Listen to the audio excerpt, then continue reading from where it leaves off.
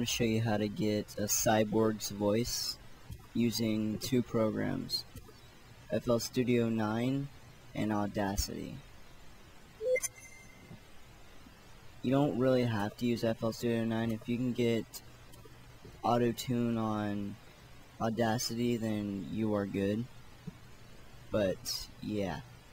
I'm not really going to take the time for that, so I'm just going to use FL Studios.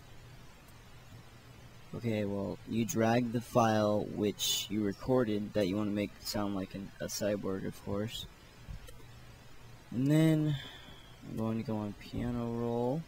Cyber Crisis tutorials have been engaged. That's what it originally sounds like. Okay, let's see what it's, you know, where it ends. Cyber Crisis tutorials have been engaged. Alright. So about right here. Alright, now that we got that, we are going to effects. It really doesn't matter because there's nothing here. But yeah, we'll just do it anyways. Soundgoodizer, make it sound louder.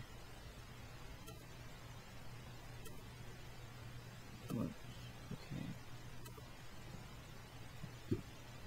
Cyber Crisis tutorials have been engaged. Cyber Crisis tutorials have been engaged. There we go. That sounds pretty good. Alright, Auto-Tune Evo.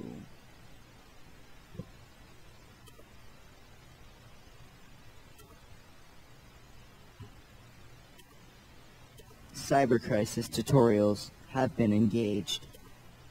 Alright. The reason you put the auto-tune is just to give it that watery effect.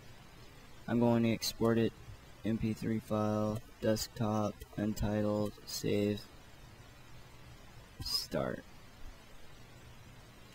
Alright, now we can exit out of FL Studios.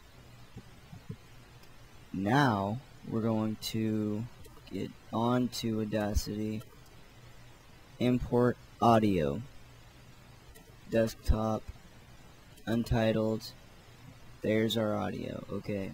Now we're going to duplicate it, which you go to Edit, Duplicate, and we're going to do it two times.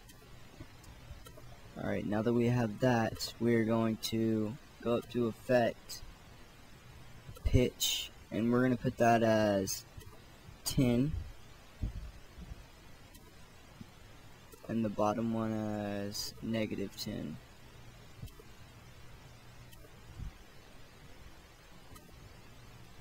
Let's listen to it. Cyber Crisis tutorials have been engaged. Nice. Now I'm going to just mess around with it and yeah, you can leave right now because I already showed you what to do. So it's not my fault if you get bored.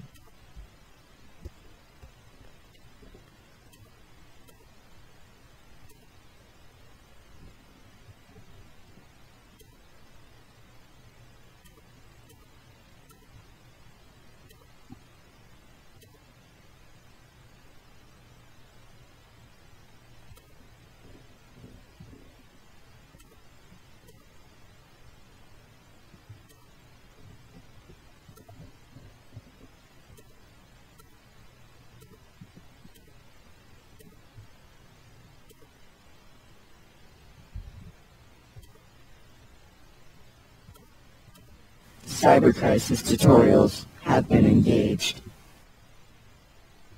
Bye.